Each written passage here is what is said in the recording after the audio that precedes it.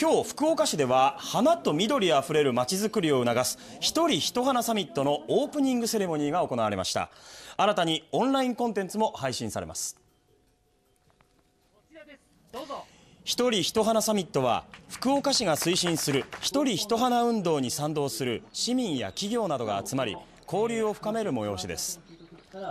今年は新型コロナの感染拡大を防ぐためオンラインを併用しての開催となりました